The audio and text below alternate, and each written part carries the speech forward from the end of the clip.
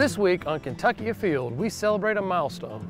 We are at beautiful Pine Mountain State Park in Bell County celebrating the 20th anniversary of the initial elk release back in Kentucky. We've gathered some of the people that were key in restoring the elk population, and we're going to dive into the stories behind Kentucky's elk restoration that you've probably never heard. But first, to understand why it's so important to bring this native species back, we need to know how they became extinct in Kentucky in the first place.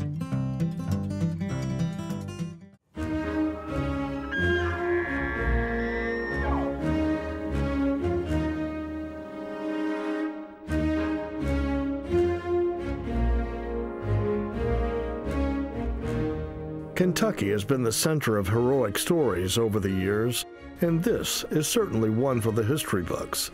In 1850, an era was nearing its end. The presence of elk across the countryside. With hardly more than 900,000 people in our state, more wildlife called the bluegrass home than farm families. But not for long. On the rolling landscape, the very last of our native eastern elk were being hunted out.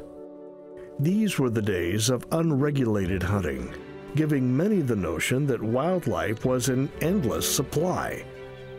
In reality, not just our majestic elk, but white-tailed deer, bison, black bear, and many other animals were paying a price.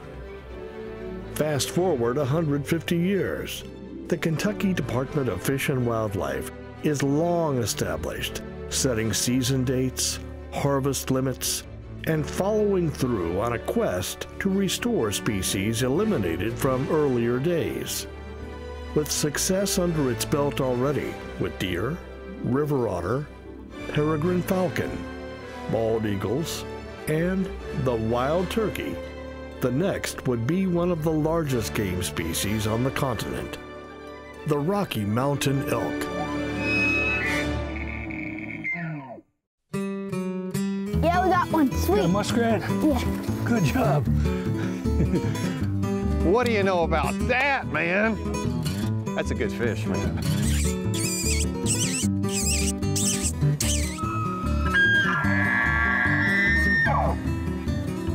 Nice male smallmouth, healthy, pretty color. Cody, here. Find us one more good pheasant, Cody. As biologists, we, we catch ducks and we place bands on them. And it's just a really excellent place to see cottonmouths. What do you think? That was pretty fun.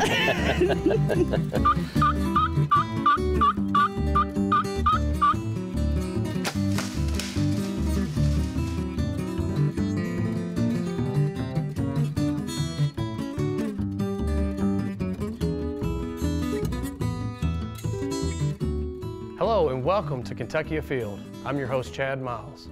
Have you ever wondered what it took to bring elk back to the state of Kentucky? From the very first time this whole idea was brought up to the 18 hour days of trapping elk out west, tonight we're going to hear the stories of how it all came together to create such an epic success. Joining me on the set today, I have Doug Hensley, former 7th District Commission member. Sitting beside him, we have Tom Bennett, Fish and Wildlife Commissioner from 1993 till 2005. Right beside him, we have Roy Grimes. And Roy, you were the former Wildlife Division Director. Mm -hmm. And we have Dan Crank, wildlife biologist and certified elk wrangler. Thanks for joining me today, gentlemen. This is such a wonderful story, but a lot of people don't know exactly how this all came to be here in Kentucky. Whose idea was this, and how did it all come about? I don't know, but it was the craziest idea I'd ever heard. uh, I'm, I'm blaming Doug and Tom Baker for it. I'm crediting Roy and Dan Crank and Charlie Logsdon and John Tate and some other people who were critical to the process. But it, it really was a crazy idea at the time. I was off the commission for four years and I came back. And I and that, that's about the time that, that they released elk in Land Between Lakes and I read it in the paper and I went into Tom's office and uh, Tom said, Well, good to have you back. What do you want? I said, I want elk in East Kentucky. So that's the craziest thing I ever heard. That's, that's exactly what he First said. thing I said was, Is there any habitat? He said, Well, yeah, there's plenty. Later on, I asked Roy, I said, How much do we need? And I think you said a million acres. Yeah, yeah. And I said, Well, put, put John Phillips in a plane, send him out, and see if he can find a million acres. And later on, he came back and I said, Well, tell me you didn't find a million acres. He said, We didn't find a million acres. We found three. Yeah. yeah. Million acres. Yeah. Million acres. Yeah. And, and then I said, mm, This is not going to go well with Doug. We're going to have to put elk back in Kentucky. right. the studies that took place and the public meetings to the very first day elk hit the ground is a very short window. How much time was it? Oh, I'm guessing it was uh, 18 months before we really started started in implementing the the process. But it seemed like everything had just come together at the same time. We had vision from people who said, "Why not? Why can't we do that?" We had the professional resources to actually convince all the scientists and scientific sides of this that this could actually work. And then we had Tom Baker, who was the chapter president of the Rocky Mountain Elk Foundation at the time, who convinced the Elk Foundation to put up a million dollars to make it happen. We couldn't have done that without that. Let's talk a little bit about that because uh, unfortunately Tom Baker is not able to be here with us. Uh, he has passed on, but uh, without Tom Baker and the Rocky Mountain Elk Foundation, this project probably would have never happened. You Would- could take would not you could take any of these pieces of this puzzle out of the out of the works here, uh, and it wouldn't have happened. Yeah, to do it on the scale it needed to be done on, it was going to be very expensive. And of course, that's one of our huge concerns because we're fund, the department's funded only by licensed buyers. And, uh, pub, you know, sportsmen and women pay for the bills, and that's a big bill, a million bucks is what we thought it'd cost. And Tom Baker solved that issue for us right away. All we had to do was figure the rest of it out. That's right. Doug, you're actually from the area in which these elk were. They're, they're there today, and uh, so you had a lot of your neighbors, your friends, your family members. I'm sure that were either really interested in this project or had a whole lot of questions. How did you handle that? When I went to club meetings and started uh, putting that out, well, would you like to have elk in East Kentucky? They thought I was crazy too. Everybody, you know, I was kind of out there by myself, but the one thing that happened was I surrounded myself with a good team. I had John Tate with the mining industry, I had Paul Van Boeven with UK, had Tom Baker with the Elk Foundation, and I had some of the commission members, and I had enough support that we allowed the Fish and Wildlife to do the study. That happened in December before before we stocked them, and and uh, and uh, when when Tom came up when we figured out the issue of the money, and uh, I, I never will forget the call that I made to Tom Baker, and I said, Mr. Baker, I you know my name's Doug Hensley, I serve on the Fish and Wildlife Commission. Everybody tells me I got a crazy idea about stocking elk in East Kentucky. What do you think? He said, Well, we did it in Land Between the Lakes. And I said, Well, this is a little different. And he said, Well, what do you want me to do? And I said, I want you to pay for it. And he said, Okay. He said, Okay. a typical Tom Baker he- response, Yeah, he said, Okay. I mean, and I said, Well, before you say okay, why don't you come up and let us show you what, what we're doing? And he brought some people from the Elk Foundation. They came up. John Tate rode us around. From Montana, they came. Y- Yeah, the, yeah, and, and rode us around the, the mine site, and uh, they said these work here. This will work. This will work, and uh, boy, that's all it took. And and uh, Tom went back to the board and presented the case to the board of directors for the Elk Foundation, and they wrote us a check for a million bucks.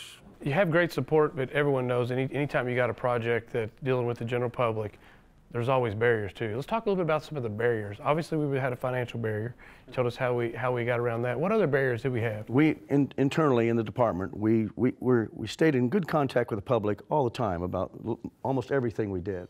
So we knew what some of the science barriers would be. We had there would be disease issues. We need to make sure would the elk survive parasite problems, for example, and we knew the public would be concerned about uh, competition with livestock, with croplands, damaging fences. One, the public even at one meeting said we're concerned about dogs. You know, would the dogs end up chasing the elk and, and, causing pro- and, and causing problems for the elk? They were worried about the elk and the dogs.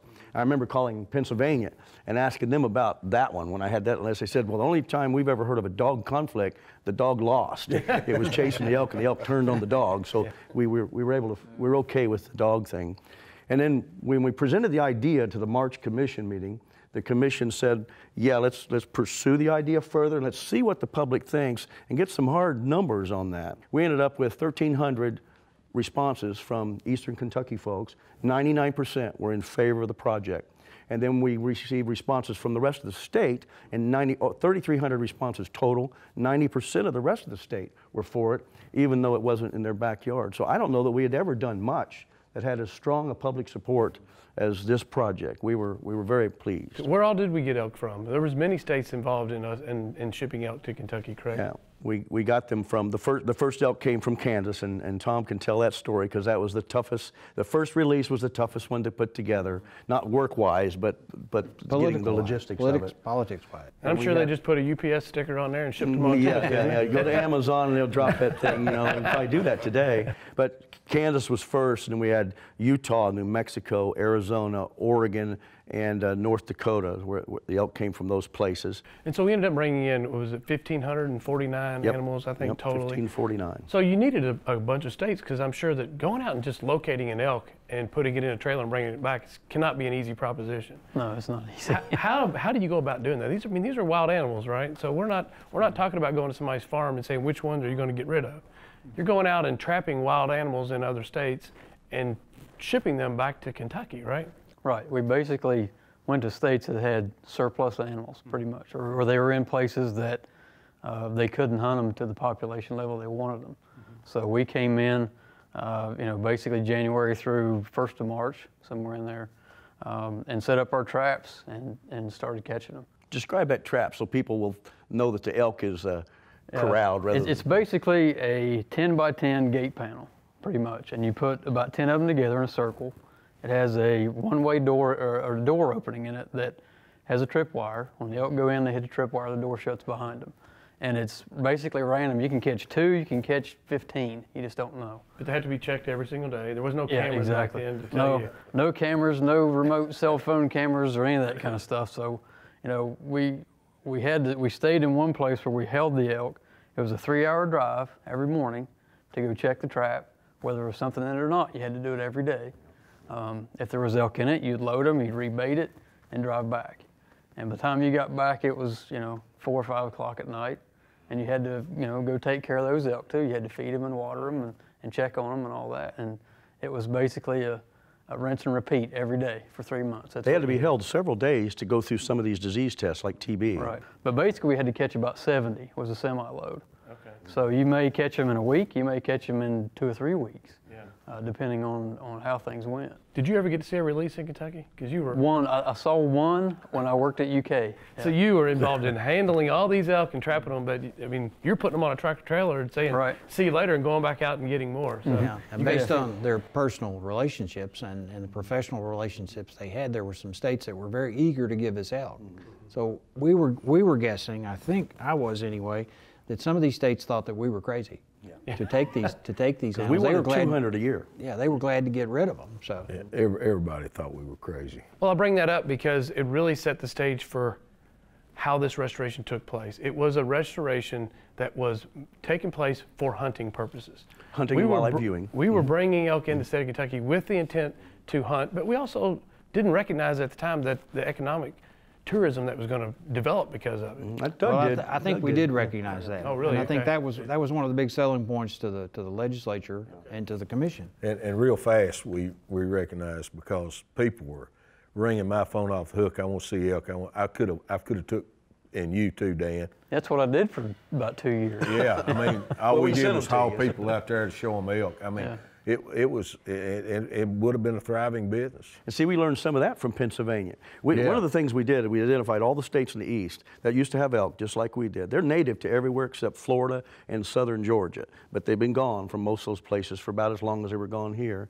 But when we contacted Pennsylvania, they had a very popular wildlife viewing herd. So popular, in fact, that when they needed to be hunted in order to be managed, controlled, they couldn't get public support for it because they were so important as a viewing. So we decided we better make sure we don't make that mistake. So as soon as we have a restoration part of the restoration zone uh, have a herd that can support itself and support hunting, we did hunt. We hunted it early to remind the public this is the it's sports sportsmen and women are paying for this project, and they will be some of the users that benefit from it. Tell me a little bit about the very first the very first elk release. So we got the first nine animals came from our folks went out there and captured them and disease, disease tested them. The first nine were put on a truck, to come here to be released in December the 17th uh, before Christmas in front of 4,500 people. We had just about every officer in the state up here and had 30, I think 31 bus loads of kids that come in and we'd put an officer on each bus at the bottom of the hill and they'd explain to the kids the program when they were going up.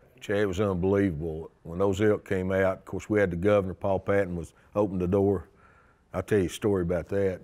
I was at a funeral uh, and Paul Patton was there and he came up to me and he said, Doug, he said, you know, uh, we, I'm, I've been hearing we've having a little problem with elk. You know, a few elk are getting in trouble and everything. And I said, he and I said, well, Governor, you just want to turn them loose.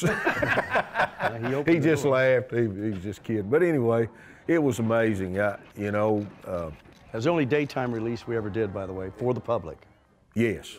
So Dan, when they sent you out there to Utah to trap 200 elk a year, you're like, wow, this is going to be a heck of an undertaking. And when you got the phone call and said, instead of 200, we want 500 or 600, what can what, you get us? what did what went through your mind? Because you were spending these long hours traveling three hours back and forth. Did you think you could pull it off? Well, I think we, yeah, we, we could, you know, it, it, but we needed a little bit of help for these other states to, to jump on board. And because, you know, like I said, some, sometimes you'd have warm weather and you couldn't catch elk. Because sometimes it'd be 40 below and you'd catch them like crazy. Is it true Charlie Logsdon created a snow dance? Not a rain he, dance, he, but a he snow may dance. have. so, and the reason did. the cold weather is because you're you're baiting them into areas to trap, and they would respond to the bait if the right. if it was yeah, harder to get we, the food we basically source, right? needed the coldest coldest we could get. You know, if it was below zero, all the better. The deeper the snow, all the better, because uh, it was harder for them to to find food resources. Mm-hmm. So we put a big pile of hay out there. Mm-hmm. They're going to come to that pretty fast. So now we're catching elk at you know five and six hundred a year, and we're trapping them back from all kinds of different western states. There had to have been some interesting stories on with elk in a big travel cattle trailer coming mm. back to mm. Kentucky. Ooh. Ooh, the very first the very first one was the was the one. yeah. Um, a long night. The lost, the lost truck. The lost truck. This truck was supposed to be back to Kentucky in I think 18 or 20 hours. Okay. And 24 hours in, I, I think I got a call from yeah, Roy, yeah, and he we says, he says, um, we don't know where the truck is. It's it's gone. So how many elk this are on is this the trailer? very first it's, load it's, now. This is not. This is after the seven go out, yeah. and now this is the very first load Big in load. Yeah. after that. Yep. And, and we, it's missing. We sweated for about 36 hours. Didn't know where the truck was, had no idea. Are we going to end up with a store here, 70 dead elk on a, on a truck someplace? The first one. And I know the next, the next day, now we're over a day late here on these things, and I'm in Paducah, headed to Paducah from Frankfort. My wife calls, and she said they found the truck, and where they found the truck, the fellow had gone to, the story we heard was that the fellow had gone to sleep, and he was a sound sleeper. Um, so after that, we changed our protocol. Two drivers were required, and law enforcement, our own law enforcement here, volunteered to send a chaperone. Every time a truck came back, they made sure it got here on time, and they ran interference. In Indiana, my favorite story is uh, they were coming through Indiana on I-64, almost home, and I got a call from uh, the, uh, uh the officer, and he said, uh, Indiana patrolman, uh, pulled us over, and the, the elk will stick their tongues out when it's raining out of the slats of the cattle truck and she said they look thirsty, and I want you to let them out of the truck. This, this is a whole herd, a whole bunch of elk, and let them water in the ditch here along I-64. um, so they, they weren't going to do that. They would, would have quit their job. yeah. So they called, and I, I said, let, let me talk to her. Now she, um, the patrolman, I think, you know, we're Kentucky, and I don't, maybe she didn't think we knew what we were doing. I don't know, but I convinced her, you know, told her about the project, the scale, and all the research that went in it, and what's going on. And she was uh, maybe coming around a little bit, but not quite. And then when I told her, I said, Indiana's going to have the largest elk herd in the eastern United States if you let these go, plus you're going to have some accidents on this road. So they, they let us go then.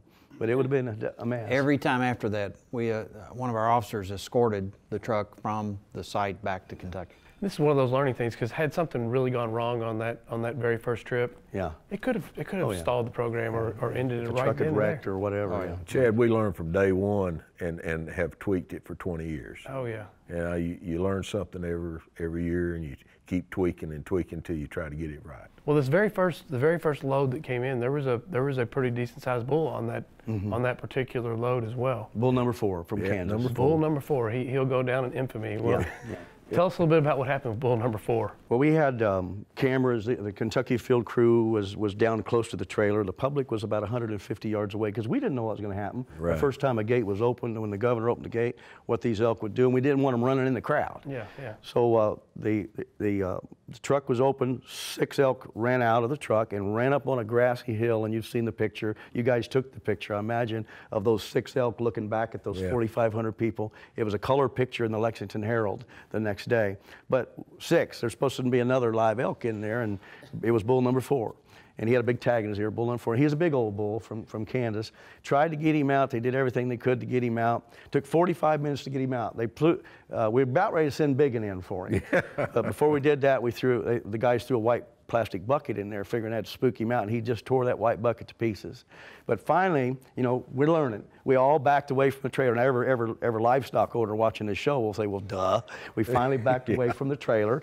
Bull number four got okay, and he went on out, but he went a totally different direction than those six cows did. And he went, he was headed to Cincinnati. So, as soon and, we, as we and at him out. these time they were all radio collared, so Oh, we could track where they were going oh, and yeah. try to figure out what lands they were using. That was one of the deals. Yeah. I think that was a deal Tom made that we'll put a radio collar on every single elk we bring in, uh, in the big, for hundreds of them. Now, and that's so we'd know where they are, and if we needed to go get them, we could find them. Now, some of our peers in the, in the wildlife profession in other states, they asked me if we'd ever heard of statistics. You don't have to radio collar everything in order to know what they're doing, but they didn't understand the, you know, the, the, the uh, ramifications of dealing with the public. after this project was public, after that first winter, uh, we would go to regional meetings and national meetings, and our counterparts from the surrounding border states of Kentucky, I, I felt a couple of smirks now and then. Like, you guys are really trying to, you think you're really going to bring elk back to East Kentucky? Are you serious, really? And they they were kind and they were polite and listened to our proposals.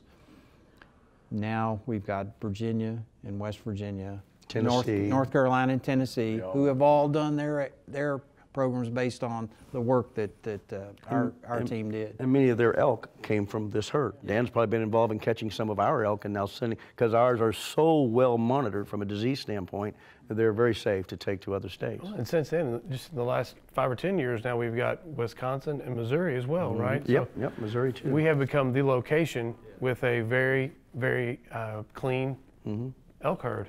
Yep. And the numbers here can support giving Right, some. right, right. We don't want to send the big bulls, but we'll send the, the cow the cows and spikes just like we've done. Well, this was obviously a, it's a huge success story, and we're in our 20th year since the since the elk release, and uh, we're going to do several stories throughout the year this year about elk in the state of Kentucky, all the way from today's our release show. We're going to talk about how the elk are doing, all the way up to hunting and maybe some calf capturing. So this is this is show number one to really celebrate 20 years of elk in Kentucky. Now, in the end, really, these elk are here and they're doing well because of the citizens of this state. If they had hadn't told us they're for it, we'd have had a real hard time doing The it. most important partner we had, and we had a lot of partners, and a lot of the lines, the stars aligned on this project, there's no question. We got lucky on several occasions, but the most important partner that we had was the people. Yeah. And if they hadn't accepted it, you, you're not going to have population. And you've got to keep those people informed about what's going on. You've got to you've got to promote the elk and keep them interested because, like you say, kids are coming up and they thought we've always had them. They don't realize what went into getting those things. That's a great point about because one of the concerns the public had was poaching of the elk. Would the elk be allowed to flourish because of poachers? So that was part of the presentation. No, this is your program, your project, and the the world is watching. At least the conservationist world is watching. We need you to protect. And the governor, Governor Patton, at that time, That's right. That's he hit what him, he said to he hit them. him right between the eyes with that's that the very first day we released him, Right, right. and made probably the best speech, contemporaneous speech he's ever made. Talk about taking ownership of these Those, animals. those and- elk are these are your elk. And then the following legislature passed some legislation which which put in place severe penalties for poaching elk. We had known poachers turning in people who were uh, uh, taking advantage of the elk. They were protecting them that way. 20 years into, into elk restoration here in the state of Kentucky, what a successful story it has been. And I want to personally thank you all for your parts that you've played in this. And I wish everyone that had played a part could, uh, could be here. Yeah, This room would be overflowing. Yeah. Me too. That's Yeah, right. yeah. For a Fish and Wildlife Agency, um, preventing an animal from going extinct is probably the greatest thing we can do. The second greatest thing is returning something that has been extirpated. And so this was a, a joy for us to be able to have the privilege to have done this. And Dan still gets to work with them. Sure. Yeah. Well, there are some wildlife viewing opportunities. I hope those continue to grow. too. And, uh, and, and allow more people to come to Eastern Kentucky and spend a little bit of time, see how beautiful the scenery is. Get up there on a mountain uh, and, and check out one of these elk because it really is something you will never forget. That's right. So thanks a lot, guys. I appreciate you all coming. Thanks for doing this. It's good. It's good to see y'all. Good to see you guys again.